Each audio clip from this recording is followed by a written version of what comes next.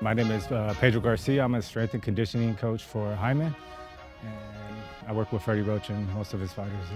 From the first day we came out here, you know, he it was it took him a little longer. You know, he's a big guy, strong, so um, his you know also weight and stuff. So now his speed has gotten a lot faster. His times are faster. His recovery's faster. We're able to still do work while he recovers. You know, and that was a big thing for him is to be able to recover after getting your heart rate up. And um, it's like in a fight, you know, you go all out, 10 seconds, you got to move and recover. So we're just trying to get him to a point where he can recover uh, faster. From where we're at now, he's been a, a, big improvement. You can see physically he looks really strong, he looks good.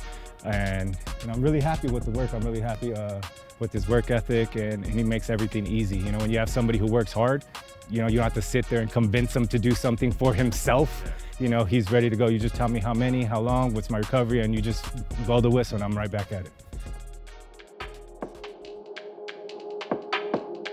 When I first got him, there was a big article out like how uh, poor his defense is and so forth.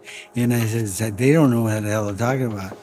And that's what he has. And uh, I think he's going to take it, take it to the next opponents.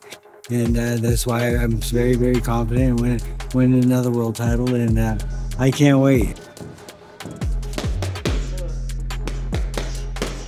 Some guys hit hard, some guys don't. You know, like yeah, like Manny Pacquiao was a hard hitter, but he, you know, he's a very, he's a small person.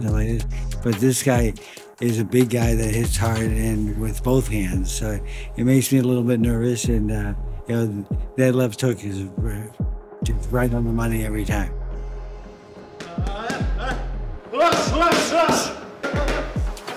He's right there. He's really high, high up there, and uh, I think he's my next world champion. And uh, we've had like 43 so far, and he'll be 44.